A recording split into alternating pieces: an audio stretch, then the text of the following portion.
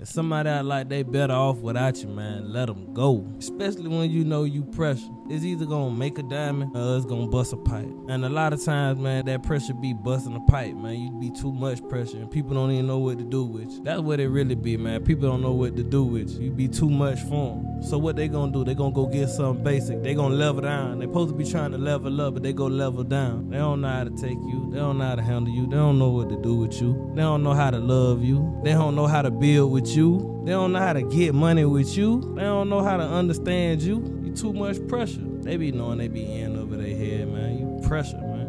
Remember that. Don't ever feel like you gotta kill your flames for somebody else to shine or to be with somebody else, man. If you gotta dim your light for somebody else, man, you don't even need them around you anyway. You feel me? Cause don't forget, man, this the same world that'll tear you down. This the same world that'll kick you while you down, man. You better feel like you pressure. Ain't about feeling like your shit don't stink.